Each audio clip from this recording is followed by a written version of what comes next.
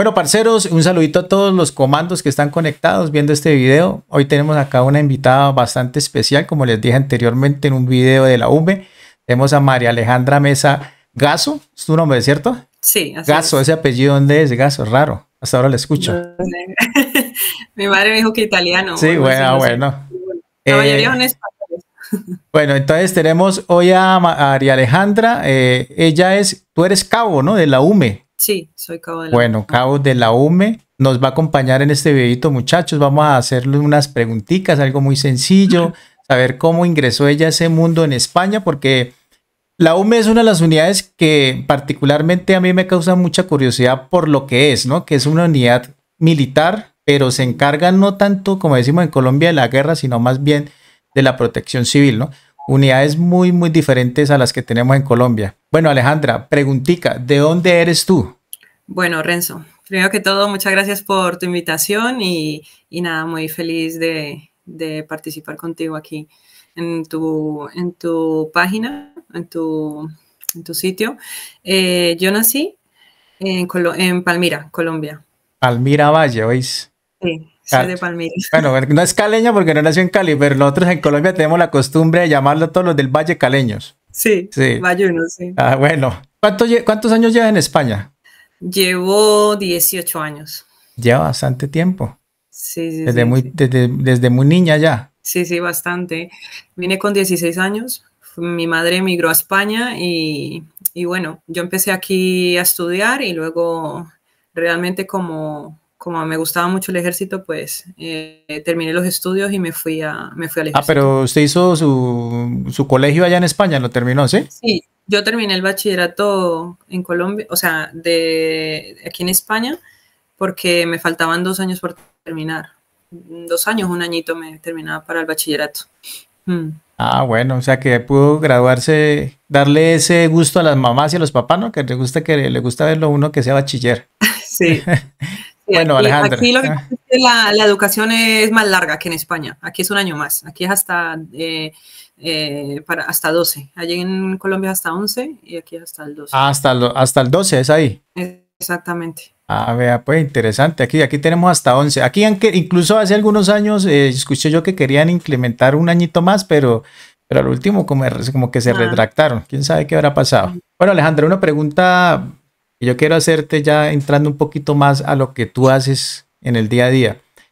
¿Qué la motivó usted a ingresar a la vida militar? O sea, ¿qué, qué le llamó la atención para poder ser militar en España? Bueno, a ver, eh, el motivo principal fue vocacional. O sea, yo desde pequeñita quería ser militar.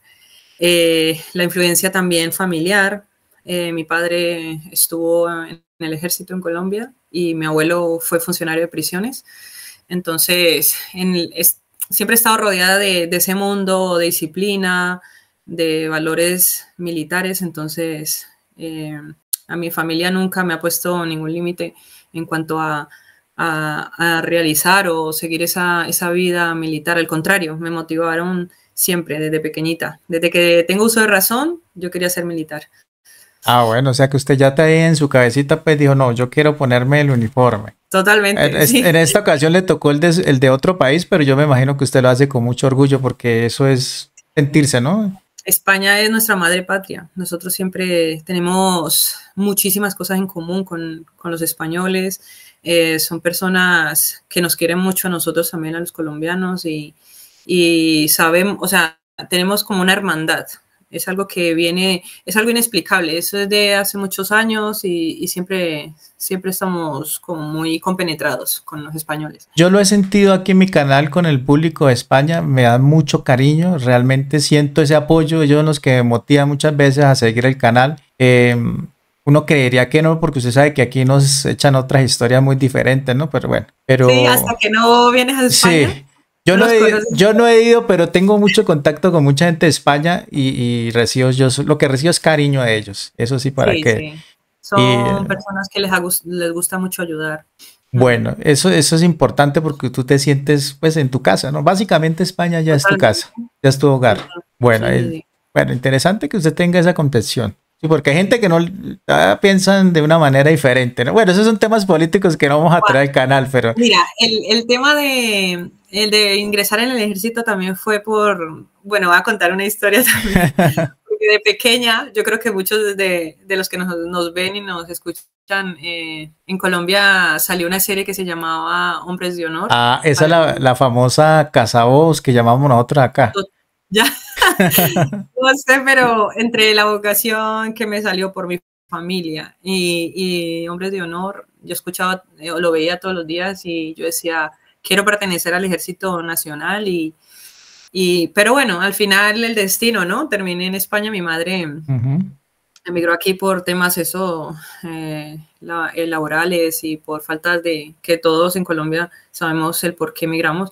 Entonces, al final fue una buena, una buena decisión porque aquí, aquí, la verdad que en España para la mujer es un sitio muy bueno, la verdad ser militar en España y ser mujer eh, tienen muchas cosas buenas. Pero aquí en mm. Colombia apenas estamos iniciando. Realmente el proceso inició como en el 2008 más o menos, que entraron las primeras oficiales. Pero ya se va incrementando poco a poco. Yo ya tengo inclusive una, una prima que salió hace como dos años suboficial. Y ahí va la pelada haciéndole.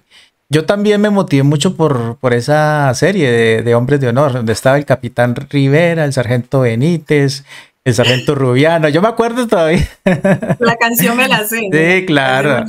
Muchos de, muchos de nuestra generación incluso ingresamos al ejército porque nos motivó eso, ¿no? O sea, mostraban como esa parte bonita, porque cuando uno entra al ejército, sí, cuando uno entra da cuenta que son cosas muy diferentes, pero, pero no importa, lo, el que le gusta le sabe, como decimos en Colombia, ¿no? Y, a mí también me motivó. Sí, a mí también me motivó mucho eso. Realmente. Es durito, pero vale la pena porque eh, te llena mucho como persona, ¿no? El capitán que duró como 10 años siendo capitán nunca ascendió y eso que manda resultados. bueno, Alejandra, otra preguntita. ¿Cómo fue el proceso de selección? ¿Cómo ingresaste a la UME o cómo se ingresa a la UME realmente? ¿Cómo se ingresa al ejército español? ¿Cómo es esa cuestión? Vale, eh, primero tienes que ser eh, militar, o sea, pasar tu, tu proceso, ¿no? Como militar. Eh, alumno y luego ya eres profesional. Entonces, eh, estás en una academia, luego tienes que tener el contrato de larga duración, que mínimo son seis meses, perdón, seis años, y luego eh, ya echas vacante para la UME, que es una unidad, el proceso de selección de, por libre designación entre personal de los tres ejércitos.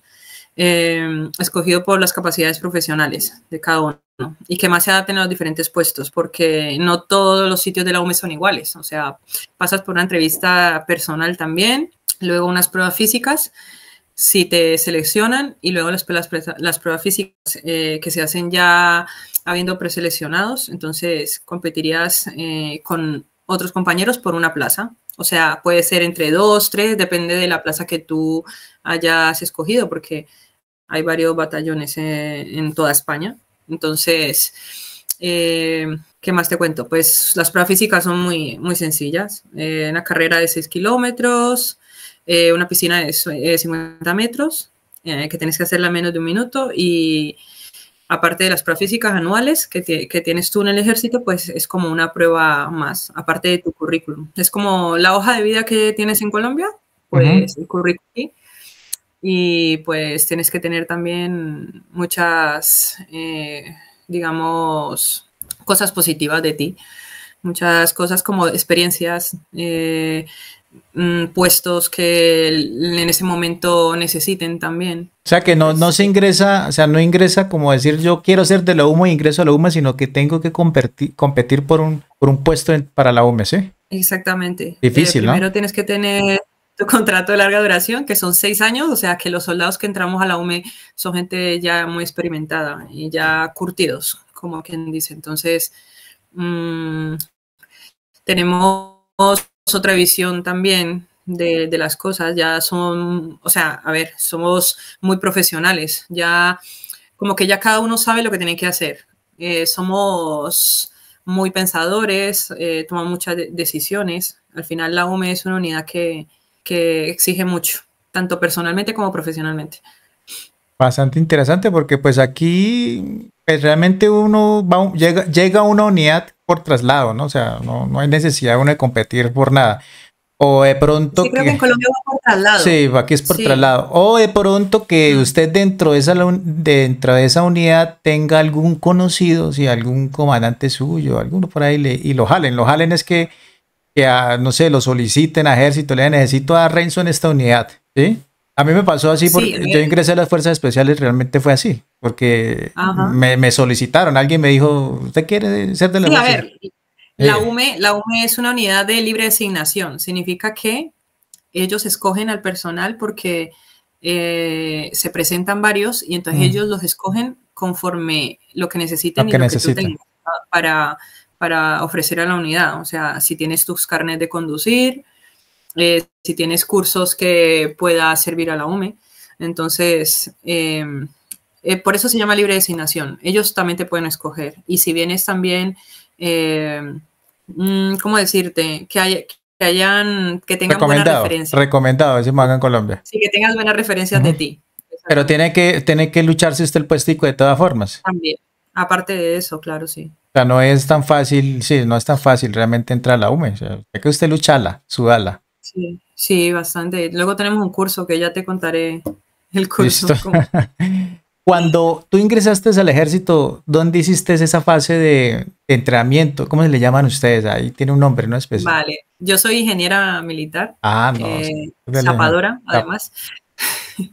zapadora es eh, explosivos, explosivos sí. construcción, eh, caminos, o sea, es, digamos que somos los infantes especializados que le dicen. tenemos una amplia gama de, de cosas que hacer. O sea, es increíble. Eh, mi preparación militar la hice en Hoyo Manzanares, en el norte de Madrid. Y fue entre septiembre y enero, en la época que más frío hacía. Allí en esa época nevaba bastante, pero eso fue hace 16 años. O sea que imagínate, ya ha pasado tiempo, ya la instrucción se hace en otro sitio, se hace en, en Cádiz, en San Fernando. Y bueno, también se hacen explosivos durante, en la fase de especialización.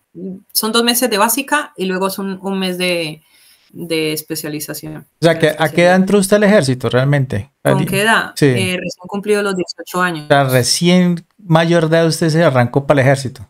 Yo cumplo el 13 de agosto y, entré a finales de septiembre. septiembre sí. O sea que usted ya podríamos decir que toda su vida adulta ha estado dentro de la milicia. Sí, sí, sí bastante tiempo. En otras cositas, sí, ¿Mm? me gusta eh, aprender, siempre es bueno. No, y eso es bueno, sí, eso es bueno, eso, mm. porque uno, yo por decirlo en mi caso fui de sanidad, pero yo sabía otras cosas. Y eso le abría a uno puerticas como que este cabo sabe esto. No, pues que le de sanidad, pero es que el man sabe. Mándelo para allá.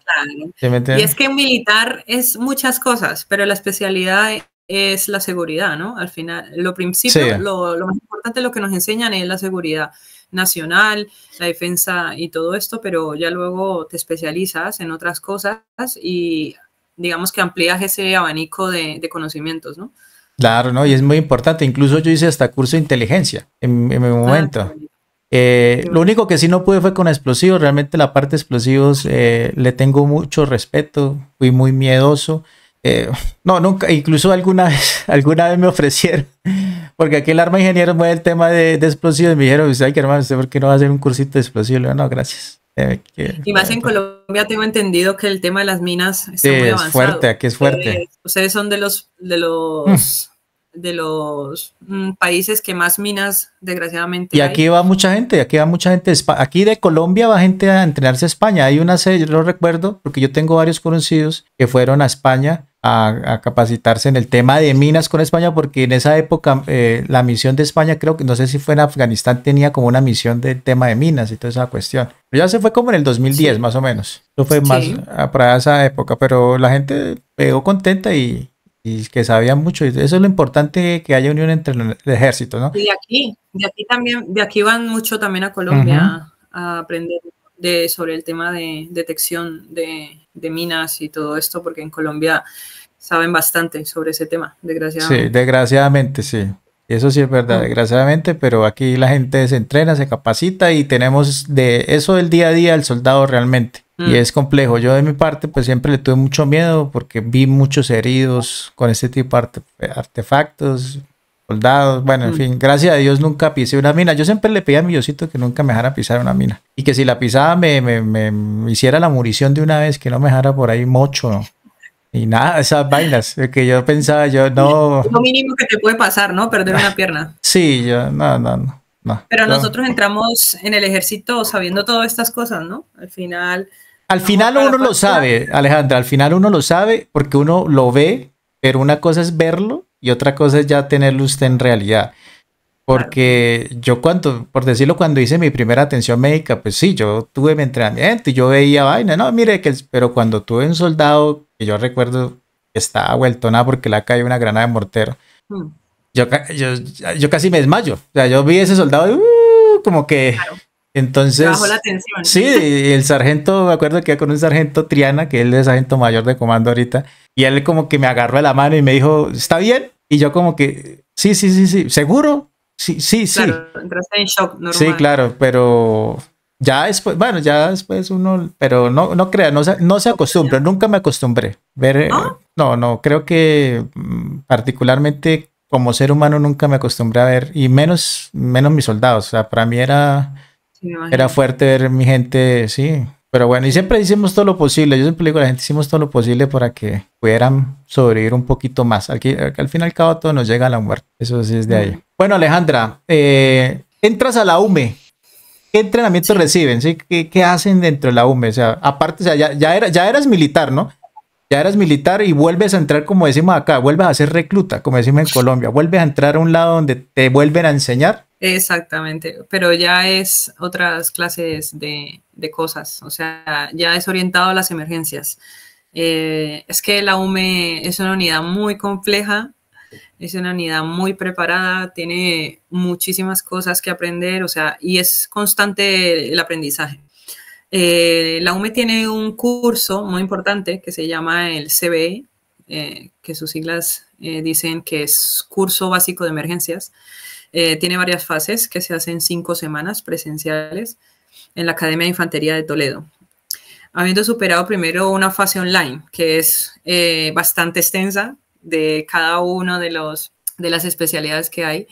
Eh, luego es de esa fase online que, que, hay que estudiar muy bien. La, la primera fase la, la, llamamos el ESIF, que es la lucha contra incendios forestales, que es, digamos, la más, la más representativa de la UME que es por la que se creó en principio y en esa, en esa fase aprende sobre incendios, que desgraciadamente ocurre mucho aquí en España, eh, aprende sobre material, procedimientos y endurecimiento en un ambiente muy duro. No, el calor, el fuego, equipados completamente, casco, gafas, guantes, eh, el uniforme, o sea, lo que es eh, el mono completo, las botas son eh, inífugas y, o sea, todo es inífugo, aparte de todo lo que tienes que llevar, claro. Eh, la fase de inundaciones va después, que es una fase donde se trabaja y aprendemos procedimientos en caso de, eh, de actuar en zonas inundadas.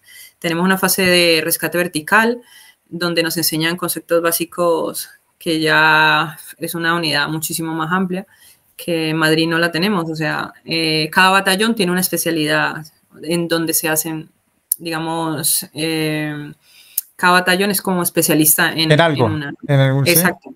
¿sí? Entonces, eh, tenemos una fase de rescate vertical que te dije, eh, como es el rescate en alta montaña, una fase también sanitaria, en el curso también, eh, conocimientos de triaje, un accidente con múltiples víctimas. También está la fase de rescate en estructuras colapsadas, eh, USAR, que es la que más proyección ha tenido en el extranjero por terremotos, como el reciente que, tuve, que tuvieron en, en, Turquía, donde se sacaron a tres personas con vida, eh, dos niños y una madre. Entonces, por último, ya nos dan nociones de transmisiones que se amplían en la unidad, por supuesto. Cada uno luego es destinado a una compañía donde, donde aprende más, más todavía, porque es verdad que hacer un curso tan extenso en, esas semanas, se enseña todo lo que se puede, pero claro, ya sabes que en, en, cada destino, al final en donde estés tú encuadrado, es donde vas a aprender muchísimo más y vas a extender los conocimientos, ¿no? Mira, y luego tenemos eh, también espeleología y búsqueda en, en grandes áreas como el equipo sinológico con perros que buscan desde personas vivas como personas muertas. Y eso es más o menos lo que te puedo contar eh, del curso. Es bastante completo. No, bastante. Se, aprende, se aprende muchas cosas buenas. Muchas cosas. O sea, hay muchas cositas de las que usted me dice que realmente son muy, muy buenas. Nosotros en Colombia, mm, yo cuando hice curso, hice, hice mi curso de enfermero. Aquí se llama el técnico de enfermería y lo hice en el hospital militar. Un año duró uno haciendo el cursito ya. Pero por decirlo, ya si yo quería aprender de rescate vertical, eso lo tengo que hacer por fuera. O sea, a mí en el ejército. Bomberos.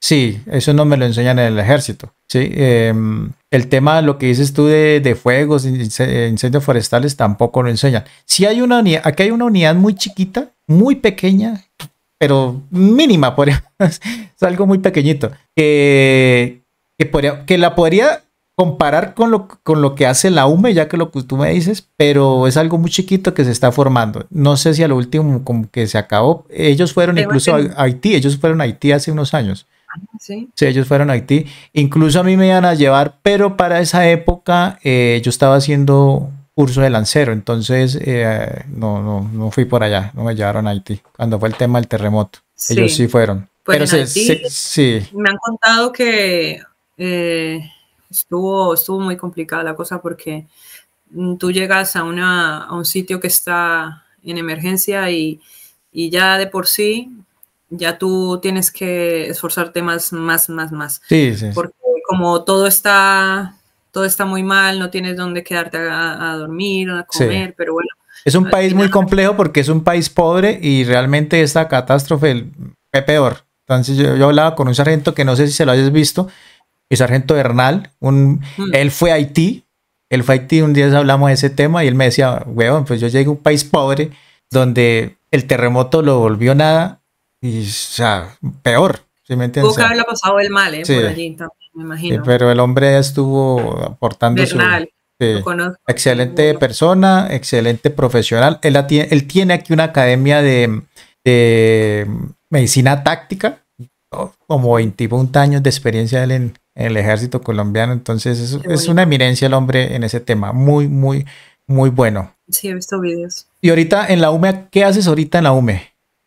Pues a ver, eh, ahora mismo llevo mm, un mes en, en, la sección de sanidad. Estamos eh, para apoyos a todas las compañías. Eh, cuando salen a, a algún día de instrucción, nosotros o a maniobras o cualquier tipo de cosa que, que tenga que hacer las compañías, nosotros vamos con nuestra ambulancia. por si acaso pasa algún accidente, que la verdad no suelen pasar accidentes porque la gente siempre está preocupada por, por la seguridad, digamos de nuestros lemas, ¿no? La seguridad eh, en la emergencia. O sea, tú no puedes terminar siendo la víctima, tú tienes que ser primero... Eh, primero estar pendiente de tu seguridad para poder salvar a, las personas, ¿no? Poder ayudarles. Sí, sí, eso es, eso es una misión de acá también de nosotros de sanidad. Nosotros hacemos eso cuando estamos como en patio, que llamamos acá, que son batallones de ciudad. Entonces, hay un polígono, entonces el, el de, sanidad. Ah, sí. Vaya, organice la ambulancia, vaya todo el tema de seguridad. Lo esperemos en el polígono, sí, más o menos hacemos eso nosotros por y también somos instructores. Ah, no, principalmente yo sí. Yo que llevo mucho tiempo, eh, a ver, yo estaba en intervención también, estuve eh, cuatro años, estuve año y medio en, año y medio en, en la policía militar, hasta hace poco, que nosotros también eh, tenemos trabajo cuando eh, se sale alguna intervención, nosotros nos encargamos de la seguridad de los intervinientes y también apoyo a, las fuerzas públicas, con la Guardia Civil, la policía. Llegamos y siempre estamos pendientes de, nuestros compañeros. Si pasa cualquier cosa, eh, ha pasado, yo qué sé, cualquier tipo de cosa que hay que hablar con un ciudadano, pues va y se habla con ellos, se dialoga, porque hay intervenciones complicadas, que son complicaditas, pero, pero luego la gente colabora mucho. ¿Qué, es una intervención, Alejandra?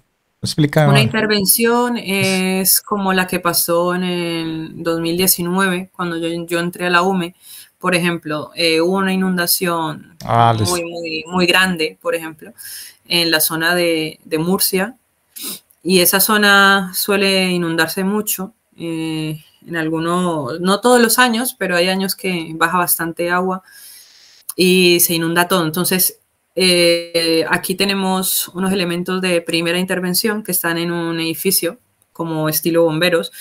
Se sale lo más rápido posible. Sale primero eh, la, digamos, el equipo de reconocimiento y ya él va informando, va diciendo por dónde se puede llegar lo más, de la forma más segura posible para la, para la gente, ¿no? Para la compañía que vaya a llegar y ya luego pues empiezas a trabajar ya en la zona. Pero siempre lo, principal es el reconocimiento para saber cómo, se va a actuar, qué gente se necesita, eh, qué tipo de intervención hay.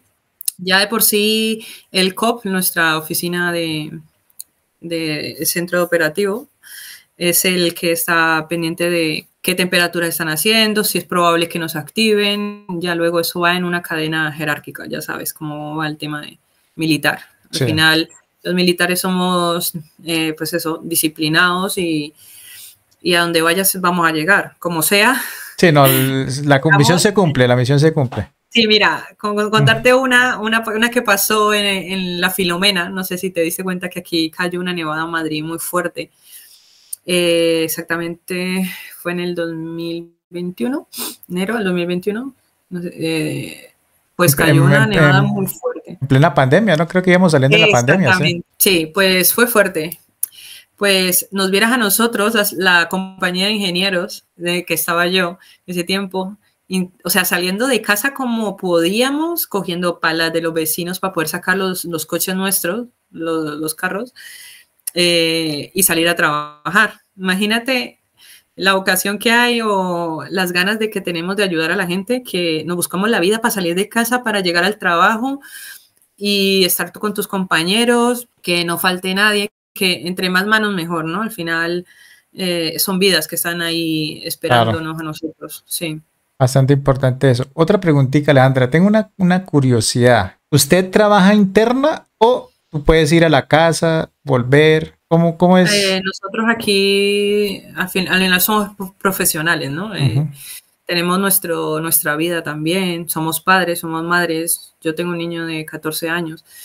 Eh, nosotros no somos internos. a lo mejor en la época de la instrucción sí que estamos los tres meses ahí y no podemos salir, tenemos que estar ahí pasando lista y todas esas cosas pero ya ser profesional es, cada uno tiene su casa, em, es como un horario, pues que tienes que llegar, trabajar, instrucción, y ya luego si hay una intervención, por ejemplo, la UME tiene sus, sus horas de, de, incorporación y estás en un plan alerta, porque la UME realmente está 24/7, 360. Están disponibles, como dice uno, disponible acá. Sí, pero cada uno tiene su vida. Aquí, gracias a Dios, tenemos esa facilidad de estar con nuestra familia, nuestros hijos, y al final cuando se necesita de nosotros, realmente la familia es de mucho apoyo, siempre está ahí apoyándonos en todo lo que necesitamos. qué bueno, qué bueno. Es una gran diferencia. Bueno, en nuestro ejército, pues hay momentos donde se puede hacer eso, hay otros no, pero ahí siempre uno trabaja es interno. Seis meses, va y visita a su familia, vuelve, muchas veces por, por las condiciones donde uno está trabajando. Pero vea, bastante bueno. ¿Cómo es un día típico? ¿Tú qué haces en el día a día en la UME? Me levanto, me arreglo, me voy para allá. ¿Qué haces tú? A ver, nos levantamos, depende, o sea, si los que viven dentro del cuartel, porque hay gente que vive dentro del cuartel, eh, pues nos levantamos, yo me levanto, yo que sé, a las seis y media, me, me, lavo los dientes y me pongo mi, mi chándal, que es nuestro uniforme de educación física, que le decimos aquí el chándal. Eh, también depende de donde estés encuadrado. Muchas veces eh, depende del día, tenemos que hacer una cosa u otra, entonces eh, posponemos la educación física para el día siguiente o cuando se pueda después de, terminar el trabajo. Pero sí es importante el estado físico, claro, el estado físico es demasiado importante y más en, en, unidades como las de ustedes. Sí, porque el trabajo te, exige estar muy bien físicamente. Imagínese uno, uno bien gordito entrando por un huequito, ¿no? Y la barriga no lo deje, no. Toca andar así. Bien, bien riata, como decimos en Colombia, así bien enérgico. pues el, eh, o sea, donde estés encuadrado por, por regla general, instrucción físico-militar y luego instrucción, dependiendo de la época del año, tanto si es invernal y, o estival, pues... Eh, ¿Qué es estival? ¿Qué es estival? ¿Qué es instrucción estival? Es, verano. A ah, verano, ah, listo. El verano, sí. y, y, pues se hace instrucción, depende de la temporada del año. Por ejemplo, ahora estamos en inundaciones, entonces lo que es primera intervención está preparado para salir en en configuración de, inundaciones. Entonces, eh, depende de la época, una instrucción por la mañana de educación física. Tenemos nuestro, nuestro momento de desayuno, de ducha y luego nos ponemos el uniforme, depende de, de dónde estés, pues vas de dos piezas o vas de mono o vas de eh, o sea, solamente tenemos dos uniformes de mono o de dos piezas, los que están en oficina, los que están en, en parque o los que están en intervención, sanidad, cada uno tiene como su uniforme, lo que más o menos le distingue o lo que necesita en ese momento, ¿no? Eh, en la policía militar, donde estuve, eh, instrucción, tenemos instrucción operativa policial ah, orientada a proteger, pues, lo que te comentaba antes, los intervinientes en las diferentes intervenciones en el territorio español. Eh, conducción todo terreno, también hacen. Eh, fuera, eh, lo más normal, se hacen también instrucción con las motos. Tenemos motos como si fueran policías de nacionales de fuera, igual. Escolta de convoy también se, se hace, o sea, cuando se sale una intervención, toda la unidad sale en convoy y va a la policía militar, digamos, en apoyo al convoy entre otras cosas. Y ya luego, pues lo que te comentaba ahora en sanidad, eh, instrucción. Eh, estuve la semana pasada eh, instruyendo a, gente que iba al curso nuestro, al curso básico de emergencias, y evaluándoles también. O sea, aquí es constante el trabajo, no paras. Se te pasa todos los días hay, todos los días hay algo que hacer. Ah. Totalmente. Ah, bueno, Mira, estos años yo creo que nunca se me ha pasado los años tan rápido como aquí. Eh, o sea, la satisfacción es muy grande porque imagínate todas las intervenciones que he tenido, inundaciones, incendios. En el 2022 tuve ocho incendios en un mes. Cada incendio fueron tres días. Y también hemos tenido, pues eso, las nevadas, el COVID, que fue bastante tiempo y la verdad que fue bastante fuerte para nosotros, pero fue bastante importante trabajar con la gente. Bonita esa unidad, vuelvo y lo repito, Andrés. Usted me dice tantas cosas que yo digo, era si español, me hubiera ido para la UMU, definitivamente. Esa es mi unidad soñada.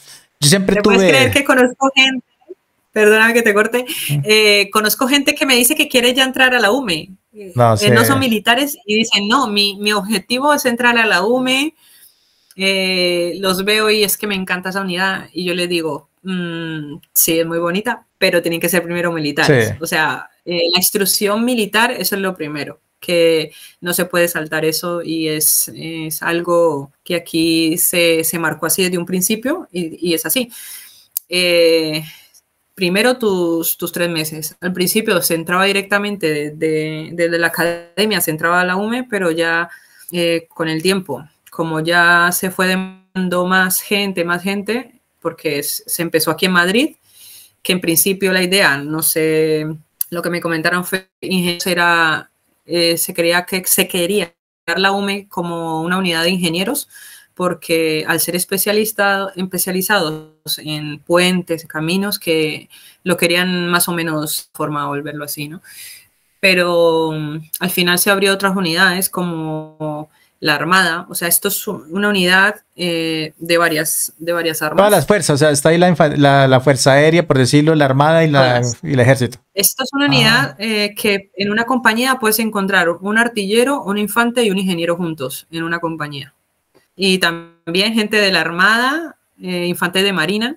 Ah, vea qué bueno. Eh, los infantes de Marina, que son los operativos, pues están con, en intervención. Y los marineros están en oficinas porque es como una especialidad que ellos tienen. Pero entonces, ¿ustedes no dependen del ejército español? ¿O sí? O, están por encima un poquito? ¿sí? Nosotros estamos en, en interior. Entonces es como también lo que pertenece a la, policía y tal. Pero ah. somos militares. O sea, también somos del Ministerio de Defensa. Sí, sí. Pero su unidad, como se dice, regente es el interior, ¿sí? Ministerio del Interior, algo así.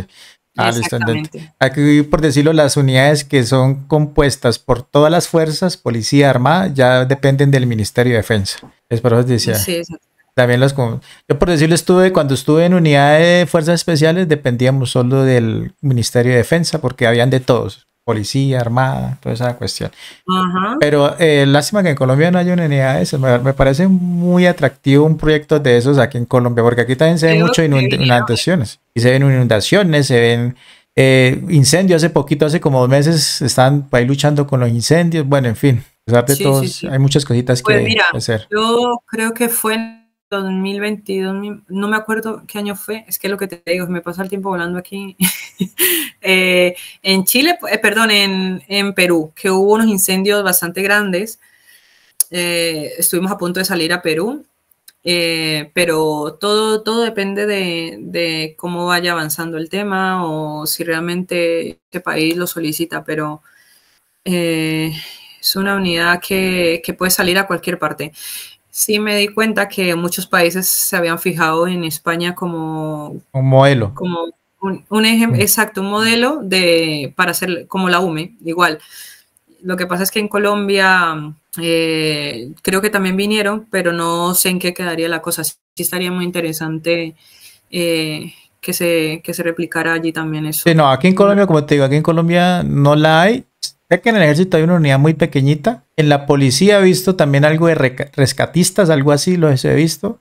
Pero pues aquí todo dependemos de la defensa civil, ¿sí? O sea, aquí nosotros tenemos el cuerpo de defensa civil que realmente es, hacen lo que ustedes hacen a nivel militar, ¿sí? Pero pues mm. no, no de la misma intensidad porque pues ellos también tienen sus, sus limitaciones. Bueno, Alejandra, muy interesante el tema de la UME. Aquí da para cualquier 5 o 6 horas hablando.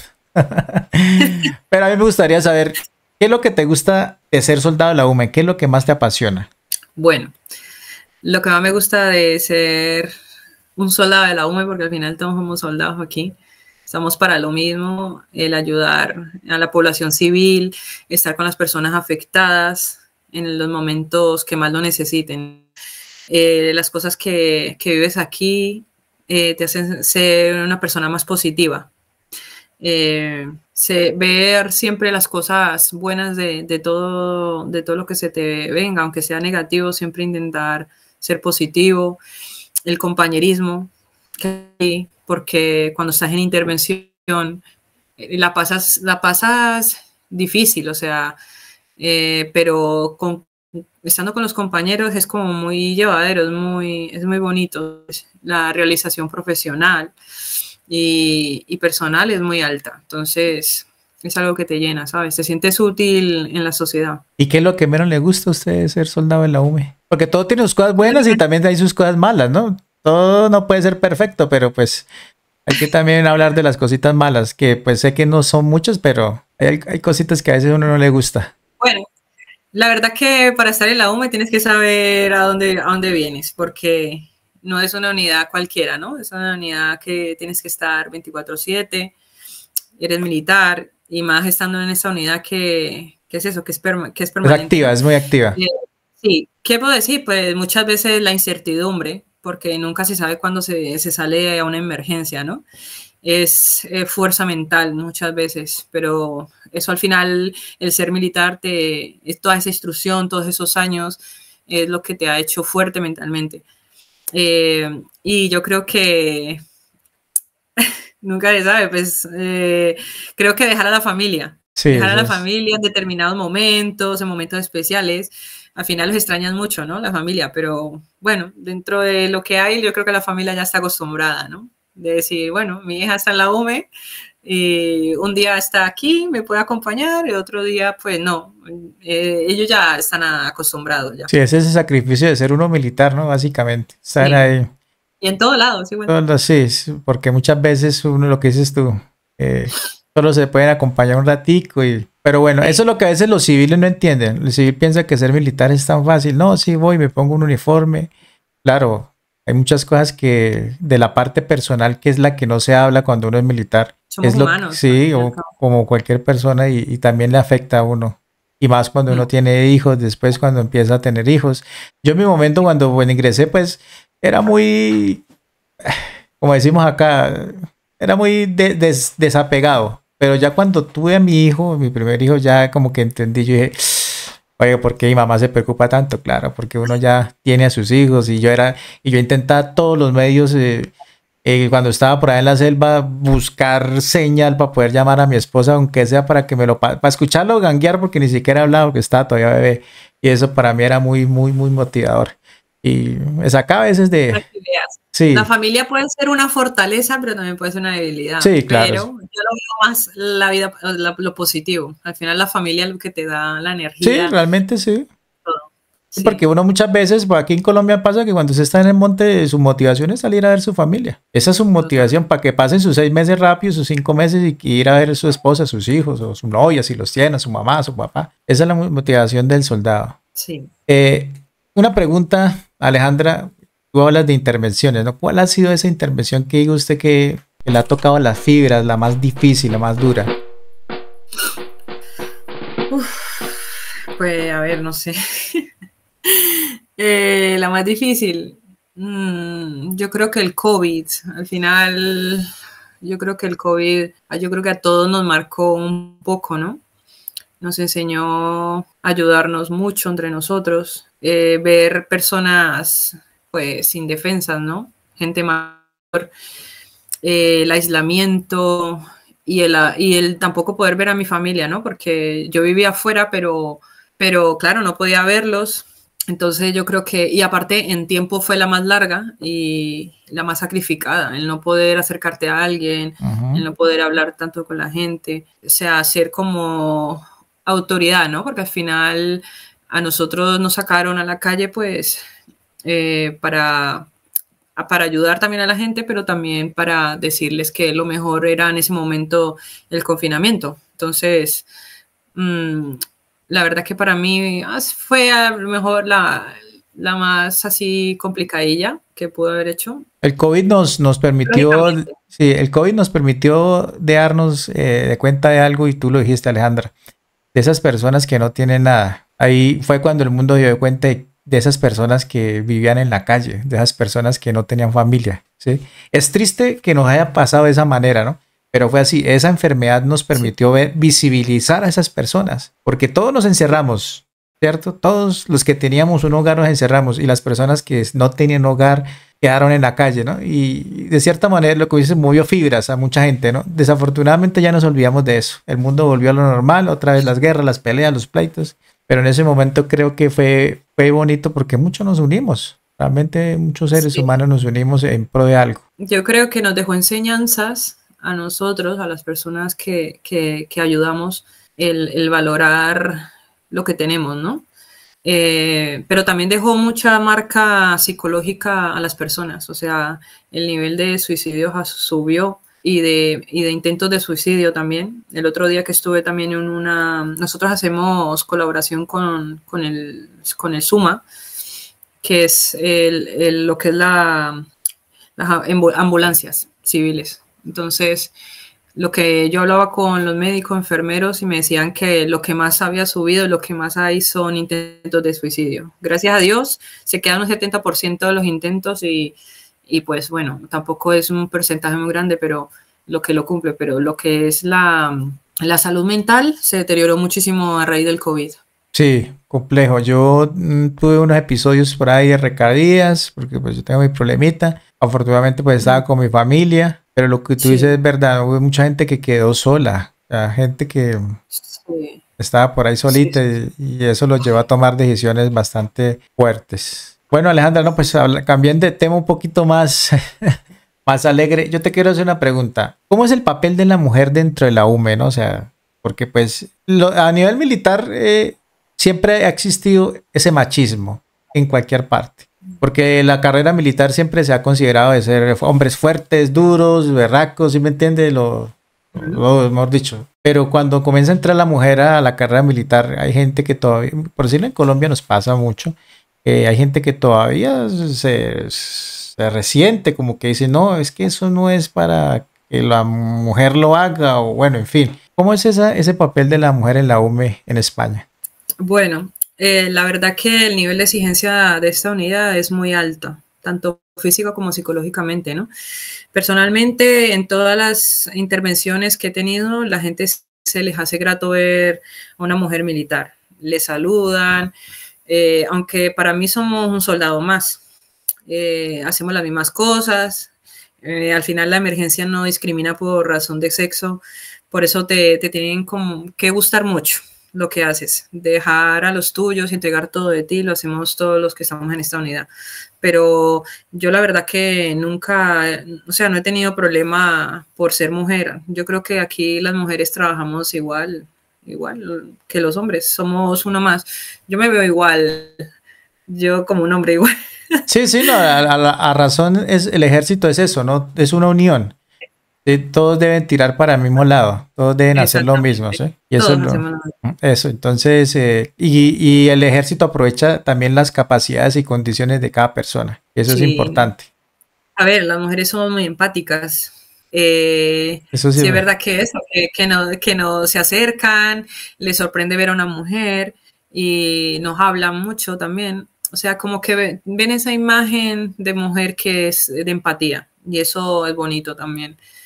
Aportamos cosas, igual que los, que los chicos, aportamos cosas como eh, somos, mm, por ejemplo, yo soy madre, eh, siendo madre, pues aportas esa, esa, esa, cosa de madre, ¿no? Que tenemos las madres de cuidar compañeros eh, o a las personas que, que, atendemos, ¿no? Somos muy, muy cuidadoras también. No, y es, es que la mujer ve el mundo desde otros ojos, yo siempre lo he dicho. La mujer no ve el mm. mundo como él. Nosotros los hombres vemos el mundo muy diferente. Y si somos militares, peor. Nosotros tenemos la concepción del mundo y, y, a nosotros como hombres nos enseñan a ser muy agresivos en la vida militar. Entonces lo que tú dices es verdad. Una persona prefiere, si ve una mujer soldado, pues prefiere ir a interactuar con ella que verlo a uno ahí con cara así. Uh, no, ustedes prefieren. Y eso, es, eso muchas veces fluye con la, permite esa fluidez de las relaciones con la comunidad. Es muy importante el papel. Yo, yo particularmente trabajé con muchas mujeres porque como fui enfermero, trabajé con muchas mujeres. El área de la sanidad en el, eh, aquí en Colombia hay muchas mujeres. Y yo prefería trabajar con las mujeres toda una vida.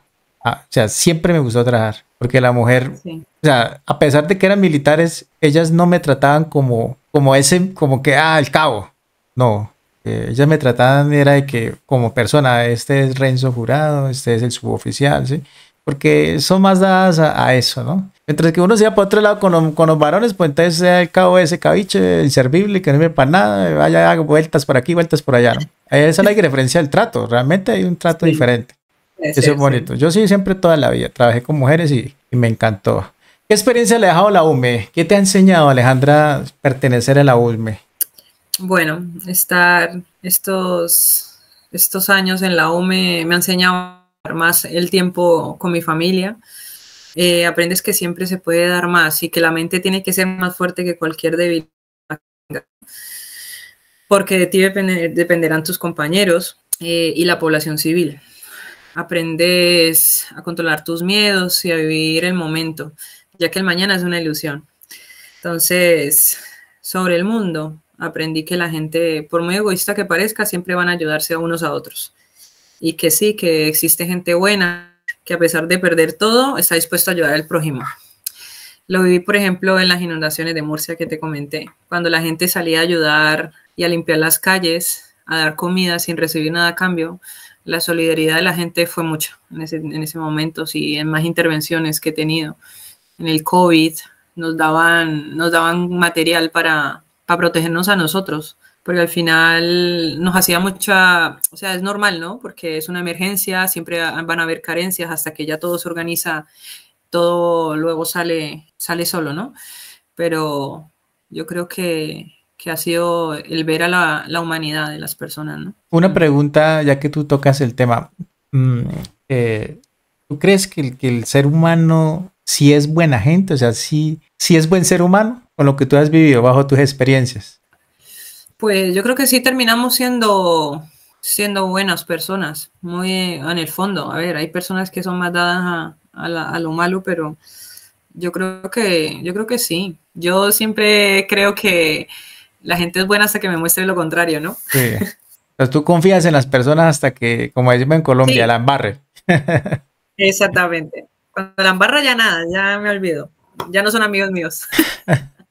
yo también pienso que el ser humano es buen ser humano, o sea, somos buenos por naturaleza. Lo que pasa es que a veces nuestro entorno o nuestras condiciones nos hacen tomar decisiones que van en contra de eso, ¿no? Pero al fin y al cabo, todos queremos ayudar y todos queremos vernos bien, ¿no? Es lo esencial. ¿Qué consejo le darías a una persona que esté considerando iniciar en la UME, que quisiera unirse a la UME? ¿Qué, qué, cuál sería ese consejo que te hubiera gustado que te hubieran dado antes de entrar a la UME? Bueno, yo es que como conocí mucha gente que estaba en la UME, yo la información todo la tenía, compañeros, amigos, antes de entrar, pero los que no tienen eh, a nadie conocido dentro de la UME, pues yo, le, o sea, lo que yo puedo decir, que es una unidad muy exigente, ¿no? Que debes de ir preparado en todos los aspectos, a trabajar con mucho esfuerzo y total compromiso separarte de tu familia en cualquier momento, pero bueno, la gratificación que te da el poder ayudar a los demás no tiene precio. Aquí esto es de vocación completamente. Eh, yo creo que verle la cara a esa persona cuando llegas a un sitio en la emergencia y tú saber que puede estar, puede esa persona estar pasando de los peores momentos que tiene en su vida y que puedes ayudarle, o sea, y que sienta que no estás, que no están solos probablemente da el, sentido del por qué estás en la UME. Entonces, yo creo que la vocación, la vocación, el que llegue aquí es por vocación de servicio, completamente, ¿sabes? El sacrificio es uno de los valores que, tenemos más importantes que, que tenemos los soldados de la UME, a diferencia. O sea, amamos la vocación. y, y el esto, el sacrificio. Eso es lo más bonito, lo que dices tú, cuando uno llega a una parte y la comunidad lo ve a uno y, se le nota la sonrisa, la alegría. Eso es bonito. Mm. Yo creo que eso es la mejor recompensa, más allá del sueldo que uno lo necesita para vivir, lógicamente, pero, pero sentir eso es, muy emocionante. Yo, yo lo sentí muchas veces eh, que llegábamos a poblaciones, a caseríos y, y como que la gente mm. llegó el ejército, o sea, como que, o sea, es mío, llegó y y se sentía muy, muy bonito. Yo inclusive participé en, aquí las llamamos en campañas donde iban médicos, militares, civiles, a, regiones muy apartadas iba uno por allá y la gente se alegraba solo con verlos. Se tomaban, sí, muy grande. Sí, se tomaban fotos con uno y uno quiere regalarme una foto y ya, bueno, me ponían la cara así de modelo. era, era algo muy, muy bonito. Después de, pateado no sé cuántos kilómetros poniendo la mejor cara. No, porque es que uno se ponía el camuflado limpio, entonces llegaba uno a la montaña, vamos para el pueblo, entonces uno se cambiaba, se ponía el camuflado limpio, la media limpia, se echaba la locioncita, claro, porque tocaba llegar uno oliendo rico. Como buen colombiano, como buen colombiano, oliendo bueno, ¿no? Claro, tocaba, porque, porque llegaba ese, ese es el comandante y oliendo pues uno bien feo, no, no, no, ese comandante. Entonces yo era, yo, mis soldados se me arreglan, se me afeitan, no nos podíamos peluquear, pero bueno, bien afeitaditos, pónganse el camuflado menos roto, las botas échale un poquito de agüita y no tiene betún, pero que se vea negro, algo no inventaba, lo importante era una... Bueno, mi, anterior unidad, mi anterior unidad de brigada paracaidista, y es, esa unidad es, a mí me encanta porque la, lo que es la marcialidad y la, el saber eh, estar con el uniforme, las botas limpias, el uniforme planchado, los hombres siempre con su, su peluqueado, su corte de pelo perfecto y sin barba. Allá no usan, no, los paracaidistas no usan barba, ¿no? Sí me doy cuenta. No, pero ¿sabes por qué no usan barba? Por el barbuqueo. Creo que es por el barbuqueo. Por el barbuqueo. Claro. Totalmente, porque si te lo pones aquí, mucha gente no lo sabía. te, lo, te pones aquí el barbuquejo, entonces la barba se, sale, se, sale. Se sale el barbuquejo del casco, exactamente. Eso sí es verdad. bueno, Alejandra, ya para finalizar esta charlita que estuvo bastante interesante, ¿qué, le, ¿qué mensaje le dejas al pueblo español, no? Tu segundo hogar, ¿qué, qué mensaje de mm. corazón le dejas tú al pueblo español? Bueno, pues mi mensaje al pueblo español es total agradecimiento de, a la gente que nos apoya continuamente con mensajes, que nos demuestran todo ese respeto y nada, que sepan que siempre estarán en los peores momentos. dando todo de corazón y para ellos siempre. Muchas gracias. Yo eh, particularmente te doy las gracias por sacar el espacio y compartir conmigo en este videito, en esta horita de video. Agradecerte también. Estoy tanto tiempo porque estabas perdido, ¿eh? Sí, estoy trabajando ahorita últimamente, estoy juicioso. bueno, yo siempre he sido juicioso, realmente. sí, sí, sí. Pero bueno, pero yo sí te quiero agradecer, también darte las gracias por lo que haces en la UME. O sea, para mí, o sea, yo me siento muy orgulloso cuando entrevisto militares que son de otros ejércitos porque siento que que también aportan a ese país, ¿sí? Y ponerse un camuflado, ponerse un camuflado no es simplemente un trabajo. Si usted se pone un, camuflado es porque ama lo que está haciendo y porque ama donde está usted. Porque el día que tenga que salir a defender ese país, usted no lo va a pensar dos veces. Es eso, es el amor que usted le tiene a ese país. Eh, Alejandra, es Alejandra es colombiana, yo sé que también ama mucho a Colombia, pero ahorita está en España y está amando ese país como como ama también a Colombia. Vuelvo, te repito, Alejandra, gracias por, por todo eso tan bonito que haces por allá, por poner la bandera en Colombia en alto, porque eso es patria realmente. Que los españoles también sientan que, tienen otros hijos, ¿no? Lo que dice usted, la madre de patria, España. Hay gente que no le gusta el término, sí, hay gente que odia el término, ah, de malas, como decimos acá en Colombia. Pero los que, los que sabemos... los colores, ¿no? Sí, pero los que sabemos que sí realmente se puede hacer y que es, es nuestra, nuestro, realmente nuestra patria, porque hay muchos somos... Si no hubieran venido acá no existiéramos realmente. Eh, agradecerte Alejandra y por todo, por todo el, apoyo que, que, le has dado al pueblo español. Con mucho gusto, con mucho gusto Renzo. Que muchas gracias por la invitación. Saludo a todos. Bueno, esperamos volver a hacer otro videito con más tiempito, ya hablar más temas eh, personales tuyos, que nos cuentes bien la historia de tu vida por allá en España. Muchas gracias y a todos los que están conectados, muchachos, gracias por ver el video. Chao.